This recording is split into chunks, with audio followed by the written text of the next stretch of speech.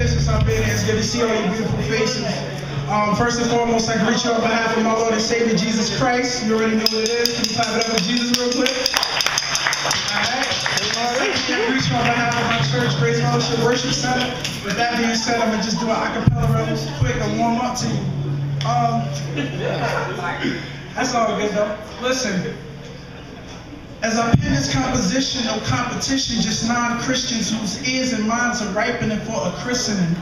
Christians call it a dissonance. Secular music pulls in so many directions, there's nothing out there distinctive or soul-saving or mind-grabbing. Most songs are mind-stealing or body-snatching, praising the drug game or teaching you the new dances, making you gaga over bad romances. I won't get any amens, so I stand as a man apart. Chick had horns on her head and body and called it art, and y'all fell for it. Another stroke of the arch deceiver, and more people believers than those that believe in Jesus. And if not, it sure seems like it. Just an opinion, not at all being self-righteous, but we in a state of crisis when the kids are idolizing the people on TV and in their musical devices, not realizing idolatry is a sin, and your favorite artist has no heaven or ever put you in. So don't think for a minute I'm not stepping on my own toes.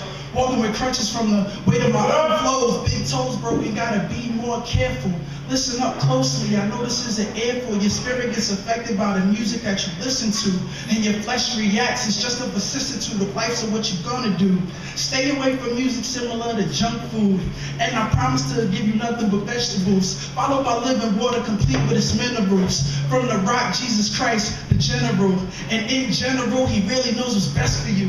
Generally speaking, this ain't a shot at you or your favorite artist, but if they hit you in the chest, then I'm on target. Just say ouch and make yourself a small promise between you and God to do better and be honest, because I'm going to be on it. Like bees, flowers, and pollen, bringing you the good word, because at the end of the day, it's not about record soul, but souls being saved.